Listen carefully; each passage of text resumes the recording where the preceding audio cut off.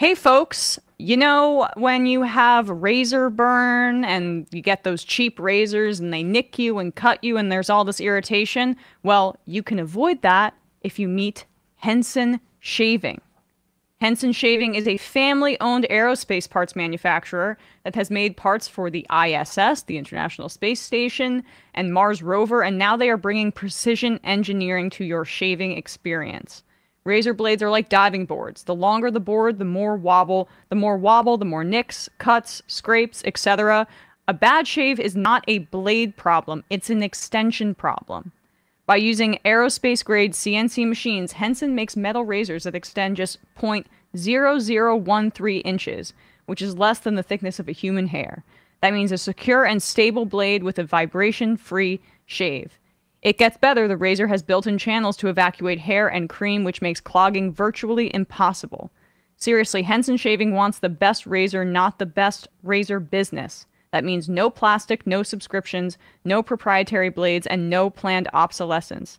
The Henson razor works with standard dual edged blades to give you that old school shave with the benefits of new school tech. Once you own the Henson razor, it's only about three to five dollars per year to replace the blades. That's the part, like, I mean, I, I don't use Henson, my fiance does, and I think it's a great, I mean, I've observed that it, it really does not irritate him. Um, but also just the fact that, like, when I, you know, when we go to the drugstore, we don't even have to worry anymore about getting razors. Proprietary blades. Yeah, I mean, they're just, we're set. And, Yeah. like, we have that 100 pack. I don't even know, I mean, like when the next time we're going to need to re-up the subscription because it's just that good. It's a great investment for your shave and honestly for your pocketbook. Um, it's time to say no to subscriptions and yes to a razor that will last you a lifetime. Visit hensonshaving.com slash majority to pick the razor for you and use code majority and you'll get two years worth of blades free with your razor. Just make sure to add them to your cart. That's 100 free blades when you head to hensonshaving.com slash majority. That's H-E-N-S-O-N shaving.com slash majority and use code majority. And now, time for the show. The Majority Report with Sam Seder. The destiny of America is always safer in the hands of the people than in the conference rooms of any elite. Sam Seder. They are unanimous in their hate for me, and I welcome their hatred. We must guard against the acquisition of unwarranted influence, whether sought or unsought, by the military-industrial complex. The Majority Report with Sam Seder. Ah, Ever get the feeling you've been cheated?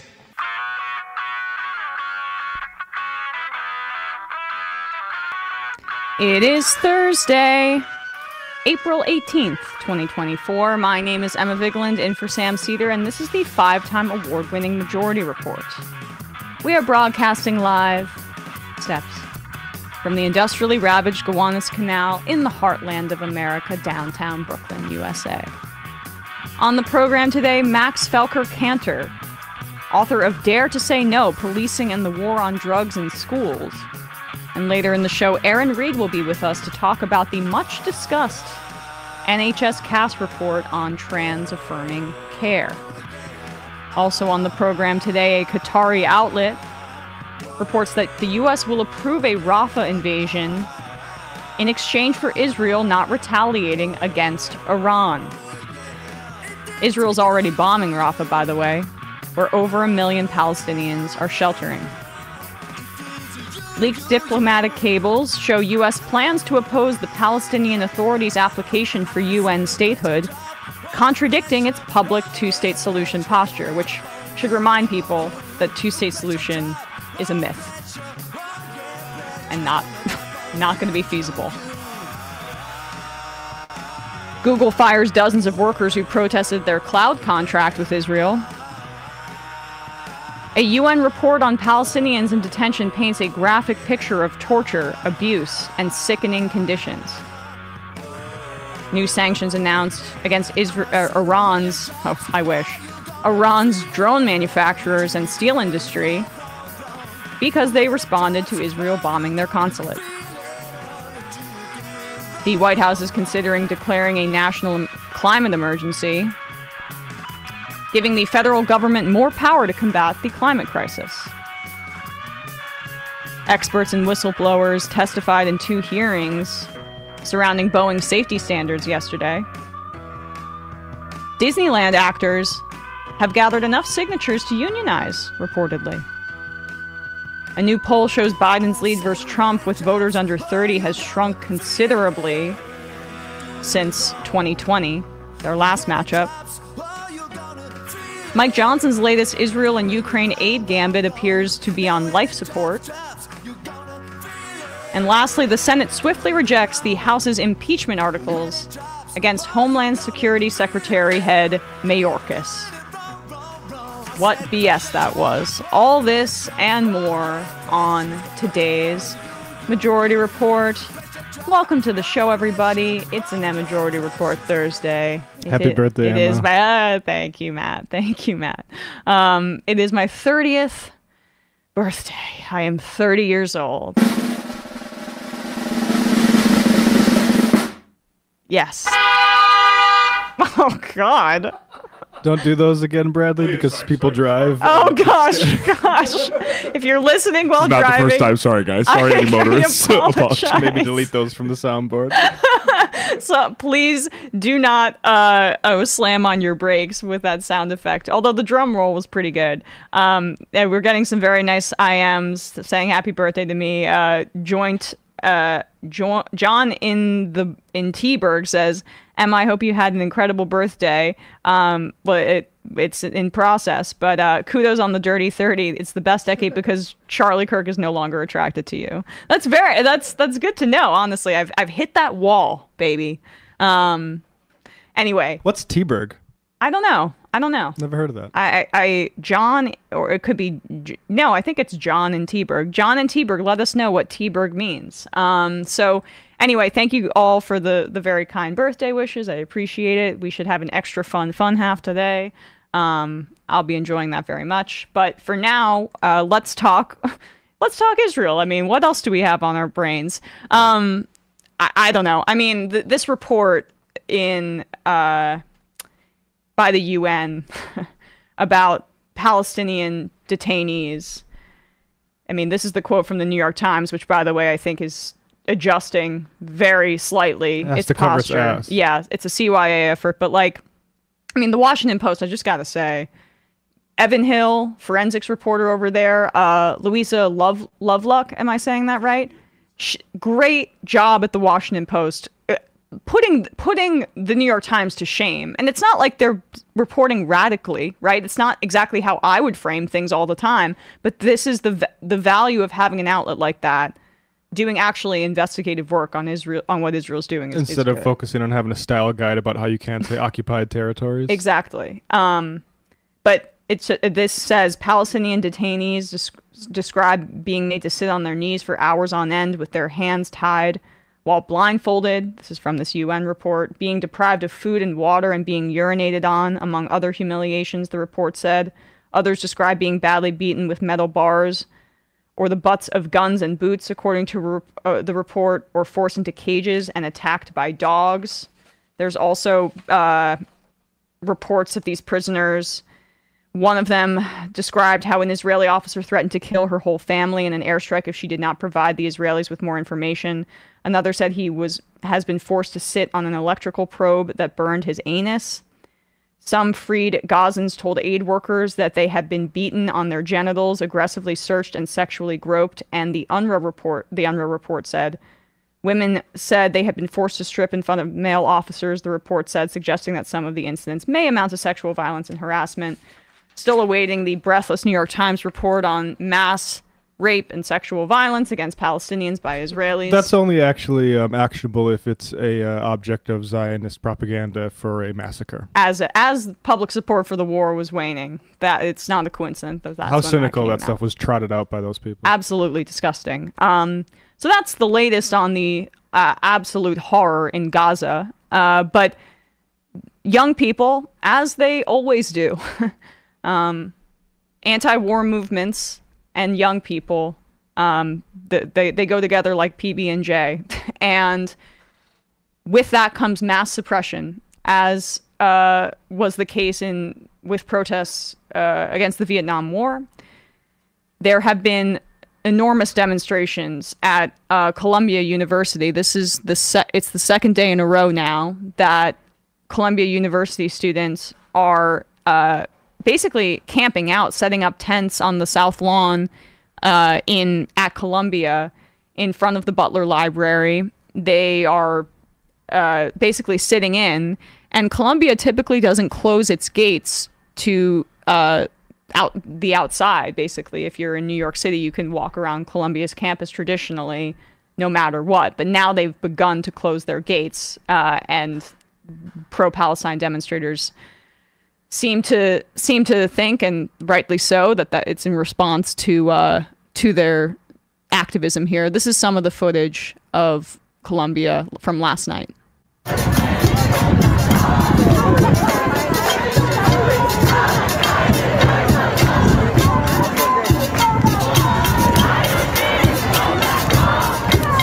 see if you're listening in the podcast audience, hundreds, hundreds of people dancing, waving pro-Palestine flags.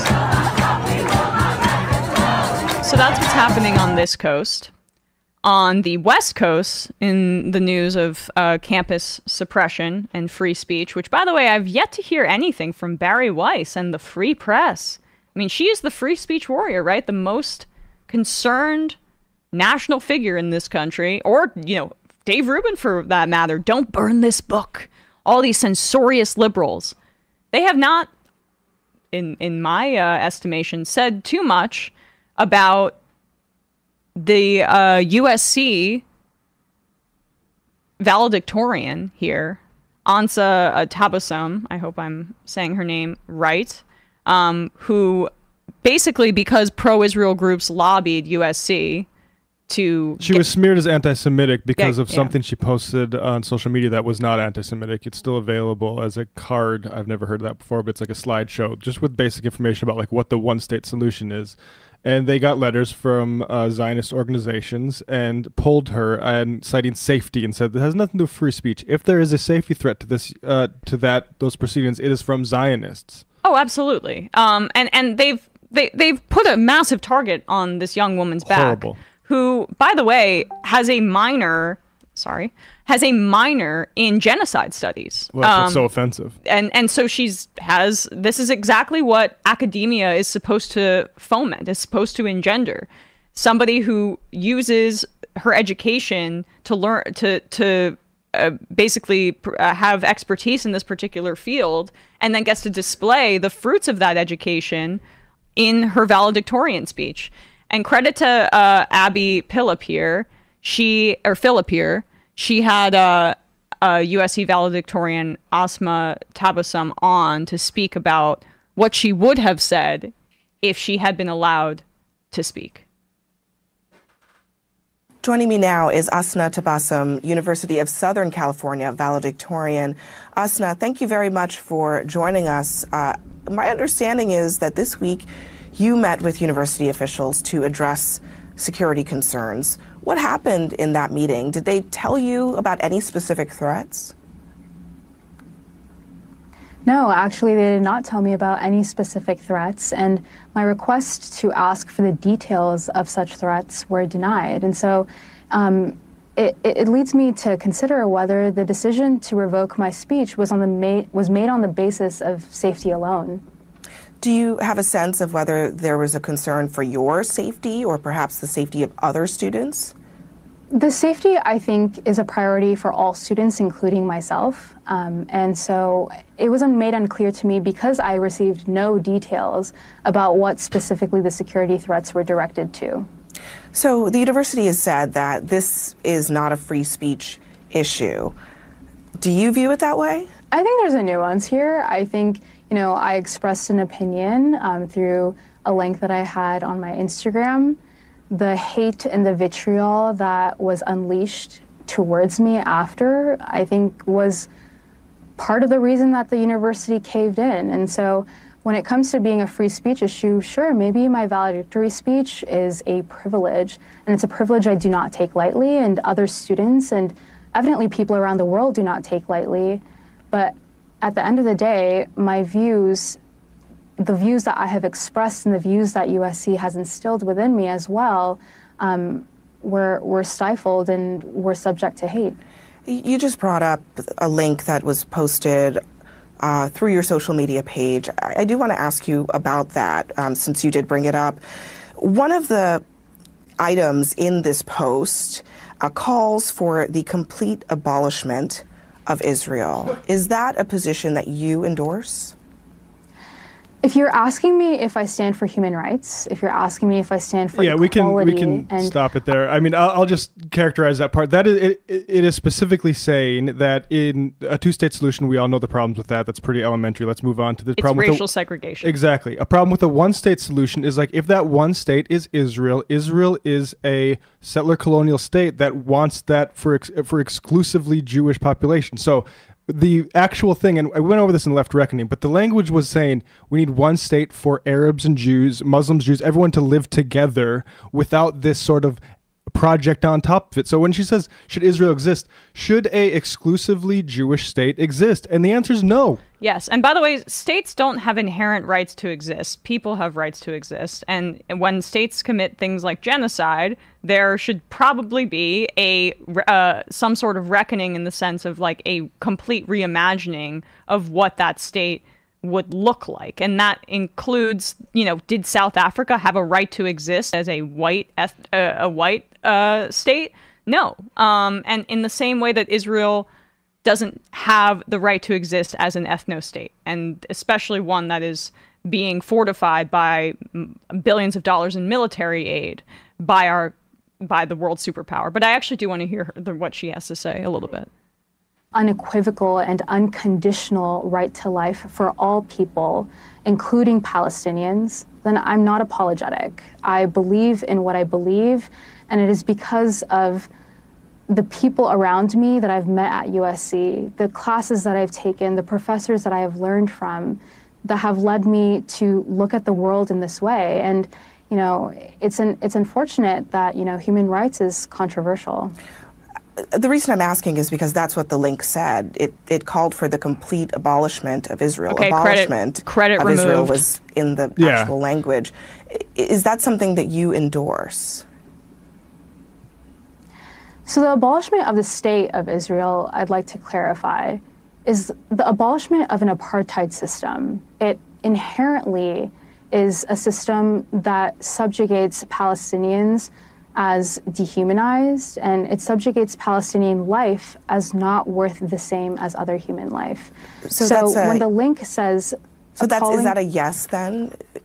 I think a yes or a no would be an injustice to the issue. And I think that any sort of ideological debate or any sort of academic discourse is worth clarification and worth discussion. You're There you go. Just to read the actual language here that Abby Phillip. I, Who I was about. I mean, I hadn't seen that part yet. So Bring that energy to the IDF people you have on Abby would be my advice. But uh, I'm the- sure there's producers in her ear being like, Get, push back, push back, push back. So, I'm not sure. Yeah. The one state solution either this is what it says either a Palestinian state or a complete Israeli state advocates for one state in which both Arabs and Jews can live together. However, a one state solution under the Israeli government would essentially mean that the Palestinian people would be completely under the state of Israel in every way imaginable.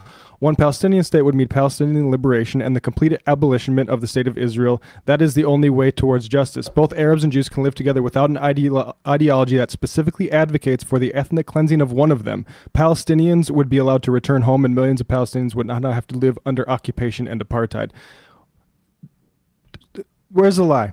Yeah, I mean, she's absolutely right. But let's also point out that the the fact that she's wearing a, a, a hijab, the fact that she is a uh, Muslim American person, is inherent to this as well. Also, biomedical engineering valedictorian. I know. uh, Well, she met all of the criteria, but this Zionism is a racist project, and it's r- deeply racist and Islamophobic against Muslim people. And so, And how dare we, in a country that champions free speech, let this sort of thing influence things like graduation season? It's an absolute generational failing, and I hope that like this is the last generation it's allowed to happen. Absolutely. Um, and th- calling it what it is, a racist decision by USC, I think is the way to actually frame this in an honest way. But CNN chose not to go down that road, obviously. All right, we are going to be speaking to Max Felker-Kantor in just a second, but first, a word from some of our sponsors here.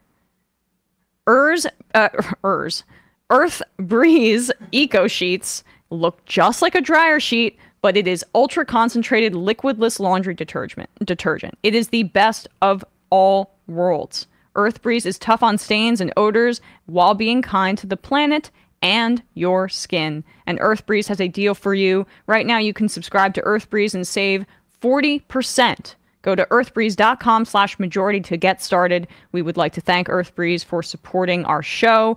Earthbreeze is great, especially if you're in an apartment or if you're just the kind of person that likes to save space. I mean, who doesn't like that? Just the fact that it's like just little slivers like dryer sheets. You can put it anywhere. You don't have to have those big plastic jugs from uh, from the grocery store, from the pharmacy, or wherever you're you're picking up your detergent, and it's also good for you and good for the environment. Earthbreeze Eco Sheets are dermatologist tested, hypoallergenic, and free of bleach, dyes, and parabens. There's also a fragrance free option if you're sensitive to smells, like somebody named Samuel Seder. That would be perfect for it. Earthbreeze, and, and I know that's why he uses it. Earthbreeze uh, got rid of unnecessary chemicals for a formula that is sensitive, kind to sensitive skin of all ages, including babies. No more heavy lifting or measuring sticky blue goo from a massive plastic jug. Earthbreeze's lightweight cardboard packaging takes up a fraction of space in your laundry room versus traditional detergent. Earthbreeze offers flexible subscriptions delivered via carbon offset shipping right to your door for free. Because unfortunately, You'll never run out of uh, laundry, but now you will also never run out of detergent. I think you should give it a try, and if you decide to go back to your old stuff for some reason, you will get a full refund and your Earth on your Earth Breeze purchase, no questions asked.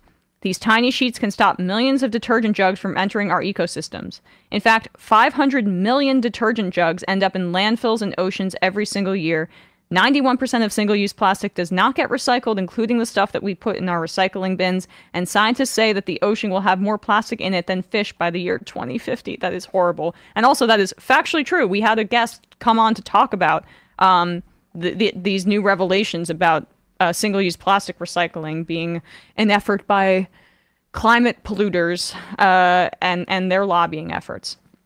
Making a positive impact in the world doesn't have to come at a cost to you. My clothes are clean. I think I smell pretty good. And I feel like I actually did something good just by doing my laundry. Right now, my listeners can receive 40% off EarthBreeze just by going to earthbreeze.com slash majority. That's earthbreeze.com slash majority to cut out single-use plastic in your laundry room and claim 40% off your subscription.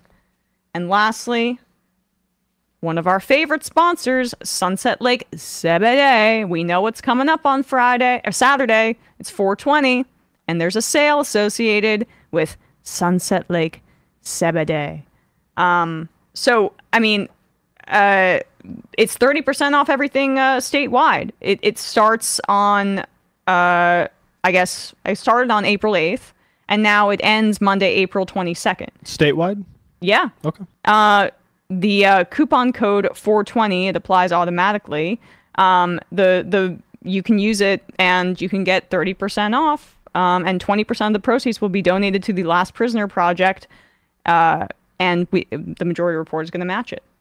So, uh, Sunset Lake CBD and Majority Report last year raised $22,000 for the Last Prisoner Project, a nonprofit organization dedicated to cannabis criminal justice reform. And we are uh, Sunset Lake is running it back this year. Starting today, everything at Sunset Lake, is 30% off with the coupon code 420. And if your order is over $100, they will throw in a free 20 count jar of their Vibe gummies. Sunset Lake is going to donate 4.20% of their proceeds from this sale to the Last Prisoner Project, and Majority Report is matching it. I, mean, I, I've said this so many times, but I basically use those sleep gummies every single night. They're really helpful for me to go to sleep, especially if my mind is racing. Um, I love those vibe gummies are great as well. The ones that are focus gummies, I should probably use one of those today, actually. Um, they're really awesome. They have the little tinctures, they have the smalls, they have kief. You can grind it up and put it with other products that you may be smoking. Sunset Lake, it's great, great CBD and all of that. Um, it's not the junk that you can't count on. It really does the trick. And uh, they're having a sale. It ends on April 22nd. Go to sunsetlakecbd.com to take advantage of this deal and help raise, raise money for cannabis criminal justice reform. See their website for sale terms and restrictions. All right, folks, quick break. And when we come back, we'll be speaking to Max Felker-Kantor.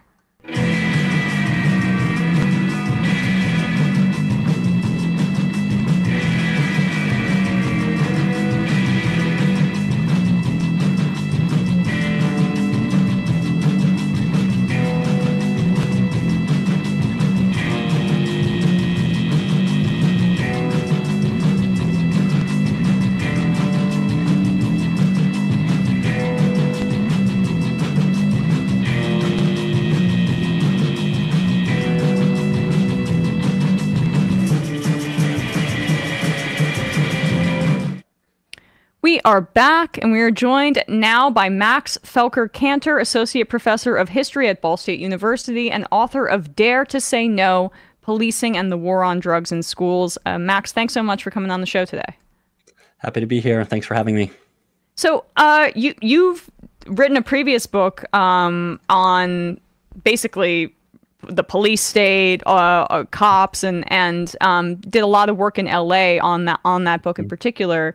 Um, you know, why did you choose to turn to Dare now? Because like right. people have those Dare T-shirts now, and they wear them ironically, but it really was this massive move. I mean, even when I was coming up, uh, going to school in the '90s and early 2000s, right, and as a younger kid, uh, we had uh, dare officers come or police officers come mm-hmm. and speak about the dare program but it was so massive in the 80s and 90s yeah it really was and i mean the reason why i came to write about dare is that when i was finishing that first book you mentioned which was called policing los angeles i came across all this material about dare in these LAPD kind of archives that I'd been using in the mayoral archives in Los Angeles.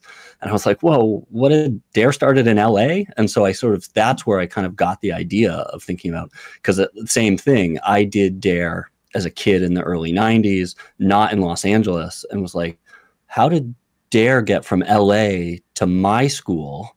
and then everywhere else that you know kids were wearing t-shirts wearing ironically later you know by the late two, late 90s early 2000s and so i really just wanted to investigate like how did this program grow to become so big why did it start in los angeles and like why did the police want to kind of put police officers in schools as teachers is sort of where i started this whole program project excuse me and to think about the role that dare played in the 90s 80s and 90s in the culture and politics of that era and I mean, it, this is when the war on drugs is in full swing, right? I mean, we it, it started in the 70s, ramping up aggressively so in the 80s and 90s. And it's not a coincidence, obviously, that as we begin to incarcerate more people for drug use and selling drugs, that this comes into the fold. Yeah, no, not at all. Like, I mean, Dare, like when it starts under Daryl Gates, the kind of you know infamous LAPD chief of police, you know they are in the midst of this aggressive drug and gang war in in the 1980s and it's not a, and i the point i make in the book is it's not a coincidence that they're like we need this alternative program to also try to address what they called the demand side of the drug war and to, to tell kids how to prevent drug use, not just arrest everyone, but to prevent it.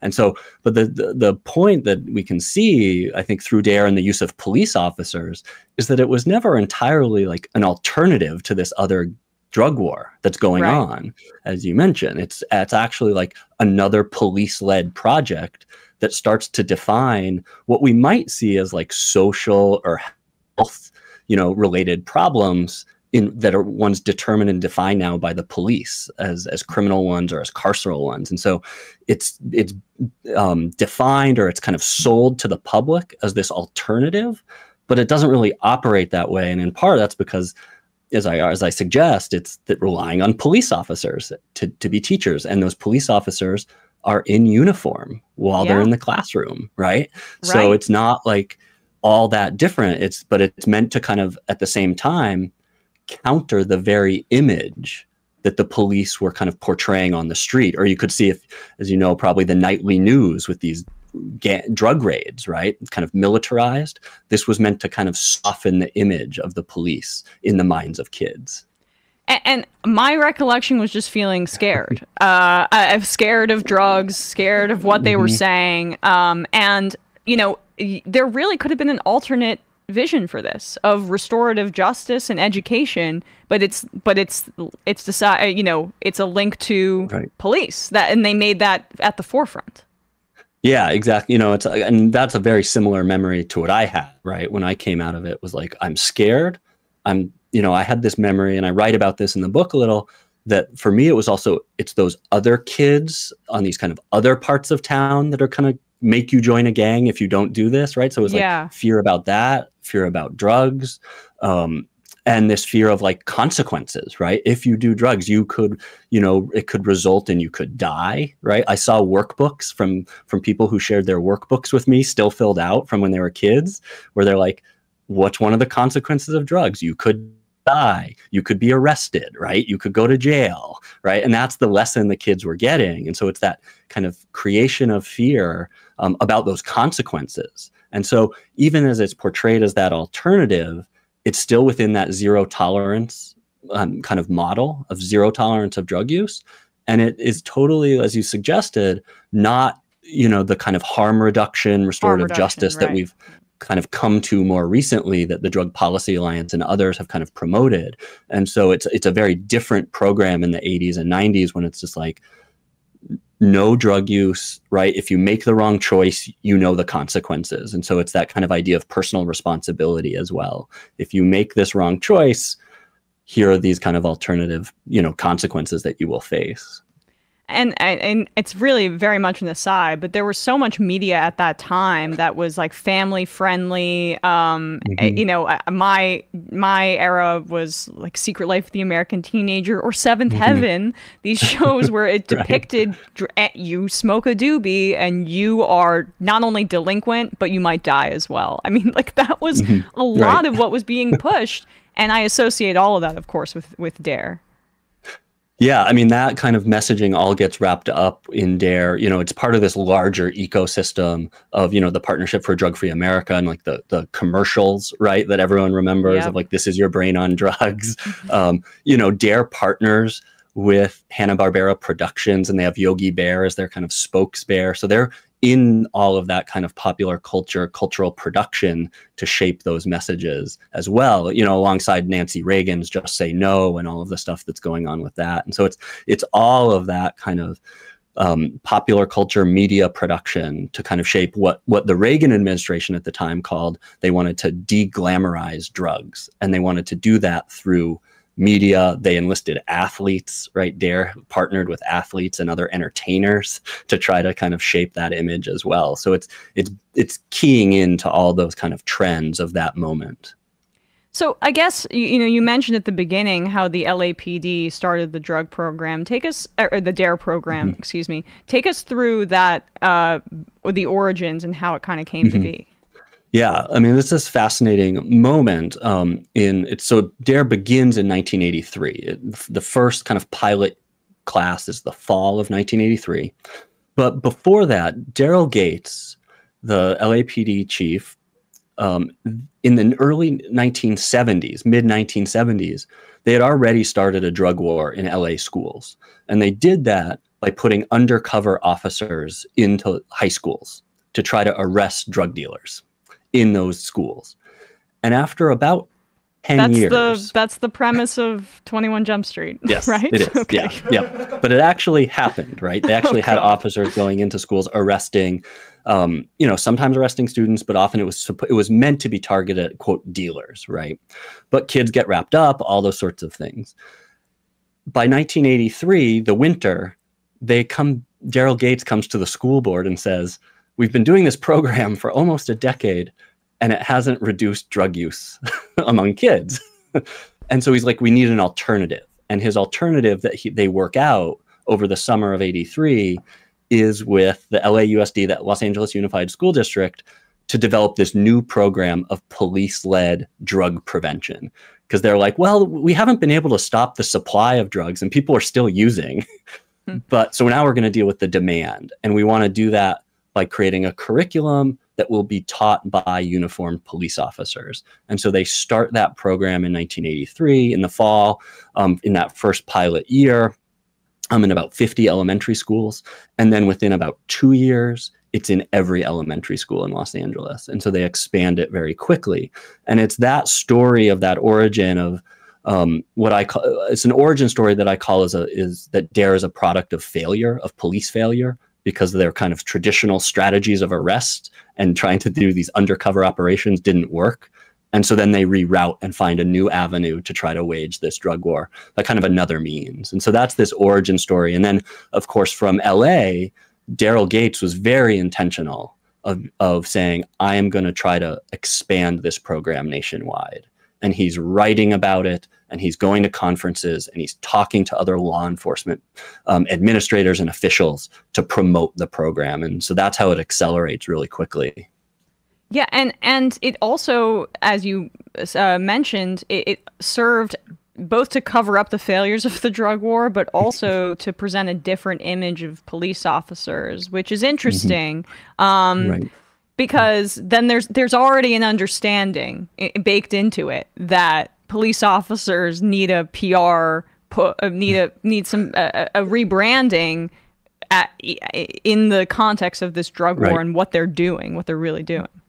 Totally right. And it's like, and they don't like, you know, and the rebranding is they, what they eventually start to say is, well, the reason why we need these police officers as teachers, like the argument on the face of it was often they know the sort of the stories from the streets. They're veteran officers who know all the stories and, and kids will believe them. And so the point I make in the book is like, these these fifth graders because it went into fifth grade classrooms must have been so savvy about drugs that their normal classroom teachers couldn't tell them like let's have some health education around this right that they that they needed police to be the kind of experts that the kids would believe but then they start always talking about how what the police officers are really doing is becoming the friends and mentors to kids right and so what you start to see is very early on, the officers wouldn't would stay on the school campuses for recess and play with the kids. Some of them started things like dare track clubs or coached football teams in the kind of extracurricular moments, um, you know, at times after school. And so it's sort of creating this image of like police officers aren't just here to arrest you, they're here to help you, they're here to kind of be your mentor right. and guide you. And that's one of the things that even everyone starts saying in these early evaluations is oh, the kids start to say they have more respect for the police or they follow rules better or they're more disciplined right so there's this kind of disciplinary message to that kind of shift of image that isn't kind of it's not on dare's kind of promotional material but it's really kind of what's happening underneath and um, you, you, talk about it as the a part of the school police nexus, right? You you uh, mm-hmm. use that that phrase. Um, right. How how do you how do you feel that this contributed to a lot of what we see today with school mm-hmm. resource officers and cops in schools? We have a pretty big problem of of mm-hmm. specifically mm-hmm. in poor uh, minority neighborhoods, cops arresting kids in schools and then furthering them down this cycle of incarceration and of poverty. Um, this clearly, I think, was a, a gateway to that reality that we live in now. Yeah, no, and I use this school police nexus framing, as you suggest, as a way to think about not just like the school to prison pipeline that many people are familiar with, but to see like schools and police actually working together right? right? Because they're they're working kind of in tandem and kind of in a reciprocal relationship because they're partnered in this. It's not just like imposing. They're actually they they they sign memorandum of agree of, of agreement to work together in these with these dare programs. Um, and it but it's an entry as you suggest to this larger kind of longer cycle that we see because what I argue and what I think DARE does, because there were police in schools before this, police athletic leagues, kind of like officer friendly, but DARE brings these officers in on a kind of regular basis for 17 weeks and it normalizes the police in schools in the ways that those prior programs didn't do to the same extent And it's before you get school resource officers, which come later into the 90s. And so DARE kind of sows the ground of normalizing the idea of having uniformed officers on school campuses.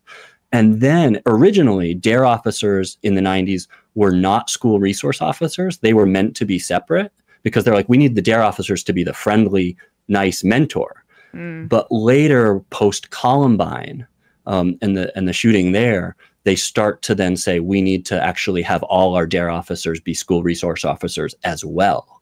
So over time, by the late 90s, early 2000s, they actually merged to where they say we should actually have the DARE officers be school resource officers. And so they become kind of that dual kind of role where they're both enforcement, but then also supposed to be these teachers, right? And so it facilitates that kind of continued um, presence of police in schools that has the kind of long-term um, effects that you're suggesting about the kind of arrest of kids, the racial um, inequality of those arrests of kids in schools, um, the disproportionate policing of, of kids of color, right, and marginalized communities, right. That all kind of right. fuels on it um, as well. So how did Dare get its funding from its outset mm-hmm. to, you know, I guess when it kind of became a national program? Yeah, no, I mean, so at its outset, Daryl Gates kind of siphon, not siphons off, but kind of like says, I'm going to use some of my budget and rededicate officers. And he has this whole gripe with Mayor Tom Bradley, who's the first African American mayor of the city uh, in Los Angeles, where he's like, Tom Bradley's not giving us the resources we need for this great program. We're doing, we're kind of sacrificing our, our, own police, you know, to go do this. Um, so he frames it that way. And eventually the city does, you know, they they then it becomes this citywide um, program that's funded, you know, through the police department. But they start actually the one of the initial things they start doing is applying for federal grants through the Bureau of Justice Assistance. And they start to get these initial seed grants in the mid 1980s, 84, 85 you know, in the realm of like $200,000 and then a $500,000. And that helps them start to actually build out a curriculum and training programs that they then will then that will use to spread the program. So that's one. But they then and then eventually the other federal funding comes in through the Anti-Drug Abuse Acts of 86 and 88, which is the one that most people know that set the mandatory minimums and the crack to powder, you know, ratio, the 100 to 1 ratio um, that many people know. But there's a part of that law that is called the Drug Free Schools and Communities Act, and it sets aside money for prevention. And DARE starts to get money through that act. And gotcha. by 1990, when they do a revision, an amendment to that act, DARE is actually named as a model program that other people could follow and well, so they're getting federal funding. Yeah, um, just I'm just wanted to to jump in there because you really mm-hmm. could see an alternate model for having money for drug prevention. I think that that is uh, actually a a, a great goal. But um, mm-hmm. my my understanding is that when uh, the drug war started early on, actually Nixon included more funding uh, in his, mm-hmm. its initial outset right. for prevention programs, but it increasingly got cut into by more um, right. Uh, basically police and and uh, criminalization efforts. Yeah, and exactly, and you see that happen actually in nineteen in the nineteen eighty six, like these 1986 Anti-Drug Abuse Act. Um, if, in the hearings where you have people like Charles Rangel and others, you know, um, Augustus Hawkins, who's a representative out of Los Angeles, and they're talking about we need prevention, we need education, and you have William Bennett, who's the Secretary of Education at the time, going to these hearings, and they're all kind of and talking about this. And they've set aside only initially $200 million out of a kind of you know billion dollar drug war funding. And so that's very small, even as they're sort of promoting, look, we've included prevention now, but it's like totally disproportionate to what they're spending on kind of the militarized side, the punitive side of the drug war.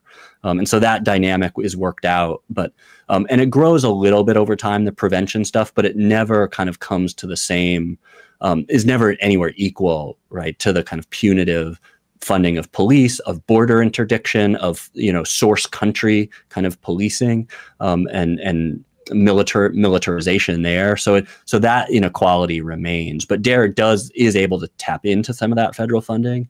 And then there's another source of funding we could talk about as well, Sure. um, not just federal funding. It's Um, these. Uh, that- it's a nonprofit model, right? Yes, Essentially. Yeah. Yes. Because what they do in part in LA is they start to ask local businesses and local kind of um, you know foundations and others to to to give donations to to a kind of community prevention council um, that eventually funnels money largely to Dare. So they start getting checks from many of the Hollywood studios, from a number of corporations in the city. And so they start getting kind of corporate sponsorship into this nonprofit organization that eventually becomes what, what, what is called Dare America, which is an organization, a nonprofit organization that still exists. Um, it gets established in the mid to late 1980s um, as a nonprofit. It starts as Dare California. It's a little more complicated than that, but for, for this purpose. And what they start to do is promote Dare as this, you know, for corporate responsibility. Corporations start saying, look, we're going to fund Dare. Look, we're backing this great prevention program. and they start to funnel kind of corporate sponsorship into it. And so, like, for example, one of the first national sponsors is Kentucky Fried Chicken, where they're like, where they sponsor the Dare program. And so, and then you get a whole range of others just kind of constantly. And then, and then as Dare spreads in different states, they have these different dare organizations in each state that are working with local communities to get funds as well and and to get fundraising that way. And it's an interesting kind of flip because what it allowed dare to do by the early 90s when we know that kind of quote big government's under assault right Mhm. even by the clintons is they say well we're not a government program. We don't get that much money from the government but they're actually getting all this corporate sponsorship and that's how they kind of use it the thing they leave out is all the local police departments are donating their officers time so it's actually most of that kind of resource is coming from public money because they're getting all the police officers are donated time to do that instruction but they write that off as donated services not as funding Interesting. Um, and, and so where, lastly, is the program at now? Is it basically just Mhm. existing in that nonprofit model s- uh, space? Yeah, it still is a nonprofit, you know, today and still exists. It's near, it's nowhere near the kind of same sort of ex, um, kind of expansiveness as it was in the 90s. It goes through a whole series of crises in the 90s when all the social scientists come out and say, actually, you know, this program doesn't prevent drug use. and so it comes under kind of fire for that. Um, and it goes through these revisions. And so Dare America still exists within that kind of nonprofit realm. It's still a nonprofit. There's also a wing of it called Dare Worldwide because it went international as well. It's located in Culver City as the headquarters, right? So it's in which is a, part, you know, in the kind of Los Angeles area. So it still exists in that kind of realm as well. Well, fascinating stuff, and uh, Mm-hmm. I really appreciate your your time today, uh, Max Felker Can- Kantor. The book is called "Dare to Say No: Policing and the War on Drugs in Schools." We will put a link to your book in the description uh, and wherever Mm-hmm. people are, are listening or watching this, and at Majority.fm. Thanks so much, Max. Great. Thanks for having me. All right, folks, quick break. And when we come back, we'll be talking to Erin Reed about this report that's making a lot of headlines, uh, misleading headlines, honestly, uh, out of the NHS in the UK. Be right back.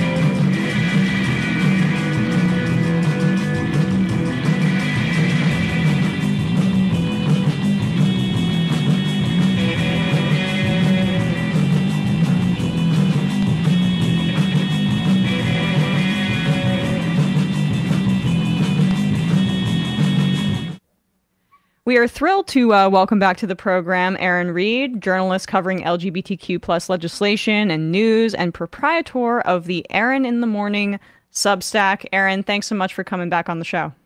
Thank you so much for having me on again. Uh, it's good to see you, and I couldn't think of anybody better to explain what the heck is happening over there in England, because um, there has this this widely discussed report, the subject of some headlines, because uh, the Harry Potter author, TERF in chief J.K. Rowling, said she would never forgive Harry Potter stars Daniel Radcliffe and Emma Watson for supporting trans people. Now that this study has has come out, and a lot of anti-trans people are are speaking about this as if it's this kind of um, smoking gun about trans affirming care for minors. Um, but this, based on your piece uh, in, this morning in your sub, Substack, Erin, in the morning, which I'd encourage everybody to read, that's incredibly misleading um, because of reasons we'll discuss. But I guess let's start at the beginning. Um, what is this Cass review, this Cass report? Who is Dr. Hilary Cass? And uh, what's happening uh, as it relates to this study. Okay, so let's set the scene. It is 2020, and the anti trans hysteria was sort of on the rise in England. We got to see people like J.K. Rowling come out against transgender people, and we got the very first indications of that. Meanwhile, um, TERFism is trans exclusionary radical feminism, a form of radical feminism that excludes transgender people, which has a very strong strain in the UK, is growing there. And we start to see wait lists get much higher for trans people in the country. Uh, we start to see teens and adults even have five year wait lists to obtain care. And so it was under this politicized environment with the uh, Minister of Equality, with the, uh, we saw the Prime Minister at the time as well, started saying that we should just stop giving trans youth care. We should stop this. We don't, we don't want this. And so NHS England tapped um, Dr. Hilary Cass to do a review.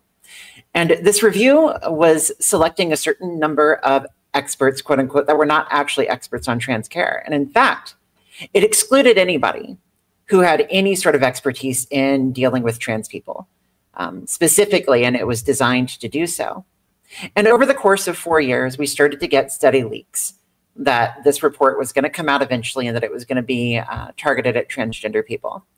Now, it was said to be an independent review. That was what it was supposed to be a, a, review that was completely independent, that had no sort of ideological bias. And yet, Dr. Hilary Cass, very early on, we found, was following groups like Transgender Trend, LGBT Alliance, groups that essentially say that being trans is a trend, that we should drop the T from LGBTQ people. And then in 2022, we discovered via court documents that she was working with Governor Ron DeSantis' medical team in Florida to help ban care in Florida in a very similar way to what they are doing now in the UK. And then, of course, we finally get this report, which says all the things that we expected. It's there's not enough evidence that trans care doesn't work, that you can catch the gay from trans people, that you can turn trans just by being associated with us.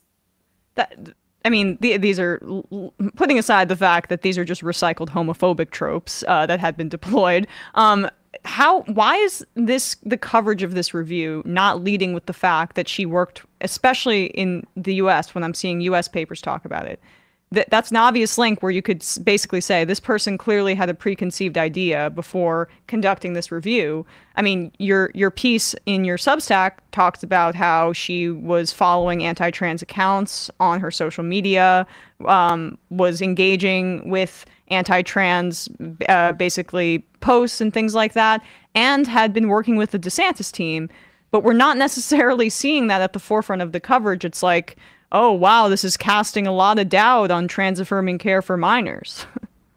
so part of the reason why I have achieved success in my own writing on my own independent newsletter is because media typically ignores trans voices in the same way that the Cass report ignored trans voices. Right specifically stop trans people from having a say in the ultimate production of this report, specifically stop people who handle our care from having a say in the ultimate production of this report.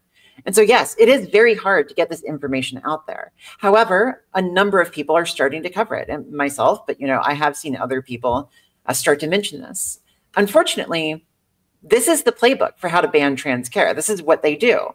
If you want to ban trans care, you basically find somebody to look at all the evidence, say that it's not good enough, even though the evidence is in line with most adult and pediatric care, care, that's out there. We, for instance, heard in Georgia, whenever the gender affirming care ban happened in Georgia here in the United States, uh, the judge looked at the claims that the evidence is not high quality enough and said, well, hold on. If you if you held all medical care to this standard, which is an unreachable standard for so much care, you would have to eliminate 90% of all adult care and trans care and youth care that isn't even trans, pediatric care out there. And so, yeah, that's what we're seeing. I mean, it doesn't even cite some of these very well established studies, like in Lancet, the numbers on uh, uh, care being continued for children as teens that are going through uh, transition care, where it's basically around 97, 97% continue care after starting after five. I mean, did they even, did they, did that's, that's not included. actually, actually, here's the funny thing that is included. And let me explain to you why it's funny. They took that study and said, wait, hold on, 97.5% of trans people are, are still stable in their gender identity five years later, meaning that people aren't regretting being trans. People are who they are. We trans people exist, we know who we are. So she she looked at that study and she said, oh, well, what's actually happening here is that once they socially transition or once they take puberty blockers, they're locked into their gender identity. Now, now you can imagine that's the study, that study. she was yeah, yeah. citing. That's that is, that is hilarious. Now, now, you can imagine that if that study found that 50% of the kids were stopping identifying as trans after they started taking puberty blockers, she would then say, "Oh, well, this proves that detransition is high and that you know we shouldn't give care." It's a catch 22. There is no way to win, and so these faux reviews that keep on coming out from these anti-trans governmental sources or these anti-trans organizations, they build the consensus by looking at the evidence in the worst possible light and then portraying that out to society. I mean, so can, so basically she dis- dismissed the overwhelming figure there by saying that you can't really count it because they had already begun their care. Oh, she she dismissed it because she said that because they had begun their care, that that somehow traps them as being trans. Okay, um, and this is, I mean, it's it's actually incredible how how uh, BS filled this this review is, and the other part is that they uh, she cited, uh, and you you wrote about this in your piece again that people should all read these outdated desistance uh, rates. If you don't mind explaining uh, that part. Absolutely, and this is one of the things that I always look for in a report to determine if they are engaging with the science properly. And one of the things I look for is are they going to cite Zucker? Are they going to cite this idea that 80% of trans youth who identify as trans later on say, I'm not trans anymore. I regret it. I don't want it. I don't want this. If they cite Zucker, I know that they're not engaging with it in good faith because Zucker was a um, therapist in the 1990s in Canada. He operated a clinic where you would bring your kid and they didn't have to be trans. It could just be like an effeminate gay boy. It could be a tomboy. You'd bring your kid in and say, there's something wrong with my kid. They're acting like a sissy or there's something wrong with my kid. You know, they're a tomboy and like they're not doing gender right. And Zucker would then come in and say, yeah, you're right. There's something wrong. Let's go ahead and pull the pull the toys away. Let's go ahead and tell you that you have to have same-sex friends. You can't be playing with kids of the opposite sex all of these things were things that Zucker's clinic did. It was essentially a form of aversive conversion therapy, saying that uh, you know you you heap praise whenever they're doing their gender properly. You uh, punish them or you take things away from them whenever they're not doing it properly. And so he wrote that this approach managed to result in 80% of trans youth desisting. It wasn't even trans youth, it was people with gender identity disorder, which covered again a sissy boy, as they would call it back then. That is literally right. the words that they used. And so um, this is essentially saying that conversion therapy is potentially how we should be handling trans youth, that these people are being conflated with one another and that this is a this is a good study whenever it is not. There have been many attempts to uh, or many many or uh, papers have pointed out how poor the study was. Well, the New York Times had that opinion uh, piece, right, where they they um, cited the study, and that was that came under a lot of uh, fire for that very reason. Um, and the other part that was just uh, stunning to me is that the report cites a Republican, U.S.-based anti-trans uh, YouTube page. Can you talk a bit about that? Yeah, that was a wild finding that I didn't catch the first time that I had read the report, but it suddenly came out online that the report was uh, the report was citing a source that was it was this it was just a YouTube page, just like a straight up YouTube page, to say um, to to like portray something about what happened at one of the WPATH uh, one of the WPATH meetings. And whenever you actually go onto the YouTube page, uh, which is uh, thoughts on things and stuff, is the actual name of the YouTube page. God, if you ever type that into to YouTube, like thoughts on things and stuff, and you look at what's there, it's going to be nothing but just like horrific, like transphobic memes. You see gays against groomer. You see things about the Florida report, which was again done uh, alongside with Dr. Hilary Cass. And so, yeah, that's that's there. Yeah, it's in I'm, the report. It is cited as evidence in this big medical report that's supposed to be neutral and unbiased. And and can you talk a bit about uh, or expand on the parts where they basically imply that being trans uh, could be contagious? Yeah. So there's this one section of the report where Dr. Cass says that there is evidence that kids are making friends with other kids who are transgender and then suddenly identifying as transgender themselves. The idea is that if you are even friends with us, you might turn trans. I promise you, after this meeting today, after our video today, you're not going to turn trans. You're going to go well, home. Well, to be fair to them, Erin, we're not in the same room, so I wasn't able to inhale your you're trans. Right. You, you did not. You did not particles. inhale my, my trans particles, and it didn't right. turn your turn you trans. Yep. Uh, no, this is something that doesn't have evidence, and and I think that what's really important about this part of the report is that she talks about levels of evidence to make claims about trans care, and you have all of these high standards to make those claims. And then yet, whenever it's time to talk about me turning you trans, there's no evidence. There's nothing to back that up. And she puts it in the report. And so it just goes to show that you can write these reports with double standards and make it in such a way to where you're basically building consensus. You're trying to build a reason for the politicians to now come in and say, you're doing exactly what we want you to do. We're going to go ahead and ban that care. So, I mean, right uh, what is the political situation in England right now as it relates to responding to this report? I mean the the tories are in trouble next election cycle but they're the conservatives are still in control of the government or uh, right as of right now if i'm not mistaken. So um, are they going to take action based on this? Yeah they're already taking action based on this. They're already talking about how they're banning puberty blockers. They're restricting hormone therapy. They're telling private clinics that they can't provide the care anymore. There's going to be some legal battles over this. It's going to be horrifying because, unlike in the United States, where if one state bans care, we can go to another state to get that care. If this happens, you know, in England, and if this happens in the UK, it's going to be very hard to access that care. I will say that this doesn't change too much because up to this point, it, the wait list for five to 10 years anyway. That's how bad trans care is in the UK. But the principle of the matter is that this is now going to be used to justify bans in other states. We're already seeing the Heritage Foundation in the United States. We're already seeing the Alliance Defending Freedom, the Christian School Network International. All of these groups are citing it to brief the, the different courts in their states. And they're going to use this as rationale to continue to try to ban care everywhere.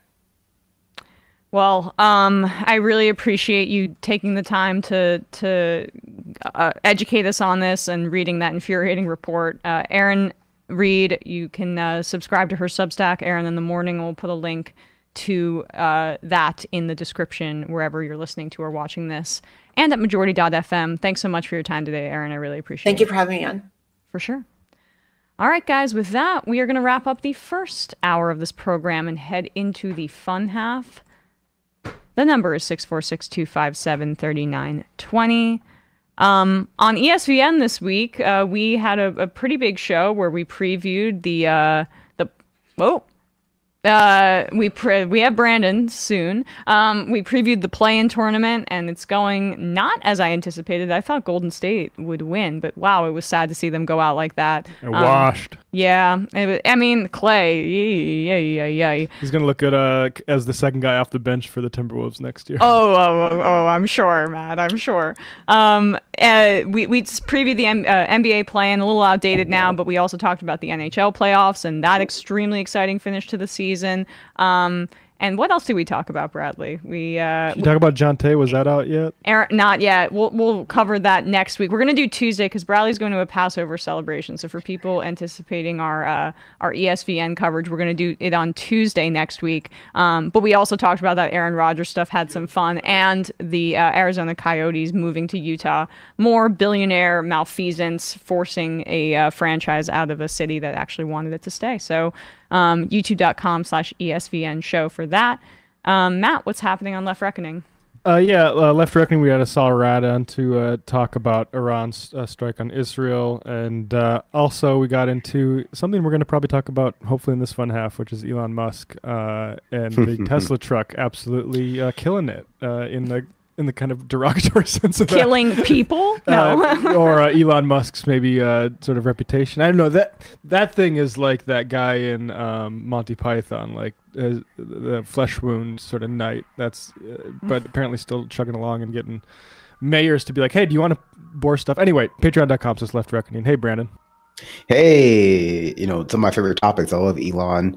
I love hearing about new sports teams. Uh, I feel like Emma, every time you talk about your show, like you mention a sports team I have never heard of, like the Arizona Coyotes, and I'm yeah, saying it's that's an, like a it's an like a- NHL team, the Desert Oh, Dogs.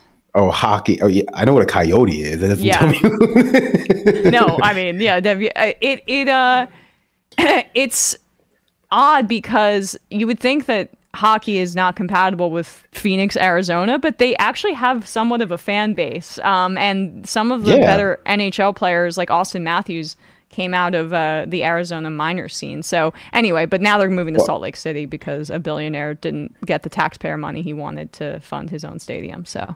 Um, Ain't that just the way? I was just gonna just say? I could imagine it being po- uh, popular in Arizona because people can go watch a game inside, air conditioned. You know, Yeah. what, Yeah. what more do you want? Like, yeah, I know. yeah. it's like 120 degrees out there. Arizona hockey may not be great for the environment. But um, Brandon, what's happening over on uh, the discourse? We'll have a new episode for you out this weekend where we talked about Israel's strike on Iran, the possible consequences of that, you know, and the various sort of fallouts that we're seeing domestically regarding just our uh, continued support of this genocide. And then also, I will have my special episode out where I talk about one of my favorite movies. Unfortunately, I've committed the cardinal sin of talking about a movie for a podcast where the podcast becomes longer than the movie itself. Um, so, so I'm gonna have to do some heavy editing, or maybe I won't. But now that I've warned you, you can't complain. That's how it works. All right, check that out. Uh, Matt Binder, hello to you. Um, What's happening over on your programs? Sure. So uh youtube.com slash mattbinder. Go there. Did a great show last night. Talked about uh everything that happened this week. Took listener calls. It's all there. Check it out. youtube.com slash mattbinder, doomedcast.com. And uh happy birthday, Emma. Thank you very much. We'll have a little bit of a celebration maybe in the fun half, have some fun. Um, 646-257-3920. See you there. three months from now, six months from now, nine months from now. And I don't think it's going to be the same as it looks like in six months from now. And I don't know if it's necessarily going to be better six months from now than it is three months from now. But I think around 18 months out, we're going to look back and go like, wow. What? What is that going on? It's nuts. Wait a second. Hold on for hold on for a second. Emma, welcome to the program. Hey. Matt. What is up, everyone? Nomiki. You did it. Let's go, Brandon. Let's go, Brandon. Bradley, you want to say hello? Uh, sorry to disappoint everyone. I'm just a random guy. It's all the boys today. Fundamentally false. No, I'm sorry. Women's Stop talking Oh, for a second. Now let me finish. Where is this coming from, dude? But dude, uh, you want to smoke this um, 7A? Yes. Hi, me? This me? Yes. Is this me? Is it me? It is you. Is this me? Hello, is this me? I think it is you. Who is you? No sound. Every single freaking day. What's on your mind? Sports. We can discuss free markets and we can discuss capitalism. I'm gonna go throw up. Who libertarians? They're so stupid though. Common sense says, of course. Gobbledygook. We fucking nailed him. So what's 79 plus 21? Challenge Mac. I'm positively quivering. I believe 96, I want to say. 857 210 35. 501 one half. Three eights. 9/11, for instance. $3,400, $1,900. Six, five, four, three trillion dollars sold.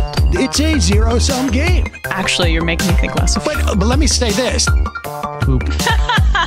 Call it satire. Sam goes, it's satire. On top of it all, Yeah. My favorite part about Yeah. you is just like every day, all day, like Yeah. everything you do. Without a doubt. Hey, buddy, we seen you. All right, folks, folks, folks. It's just the weak being weeded out, obviously. Yeah, sun's out, guns out. I, I, I don't know. But you should know. The- People the- just don't like to entertain ideas anymore. I have a question. Who cares?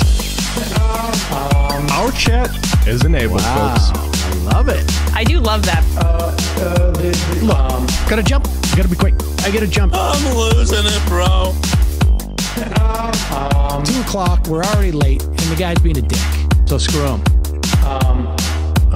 Sent to a gulag? Outrageous. Like, what is wrong with you? Love you. Bye. Love you. Bye bye.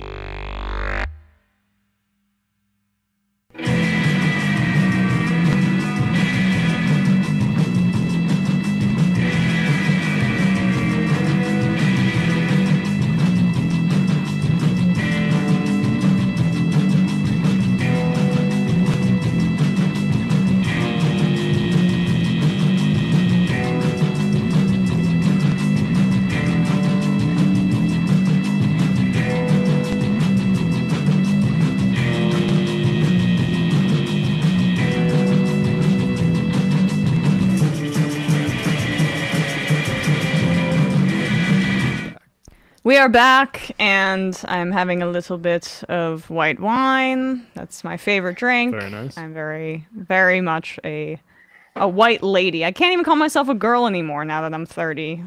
Oh, that's right. Happy birthday. I'm a white, white matron. Um, Yeah, 30 is the end of being able to play off the whole, oh, I'm just a, a wee lad, a wee lass, just a little girl. I dis- I disagree. Oh, be I- nice I'm, to me. I'm just just a little desert mouse. I,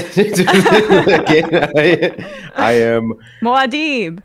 just a boy. Um, anyway, uh, so what should we do here, folks? Maybe let's just take a call really quickly, get our bearings. Yeah, take a Um, call. I'll look at the sound sheet. Sounds good to me. All right, that's exactly uh, what I'm gonna do as well. All right, calling from an eight one six area code. Who's this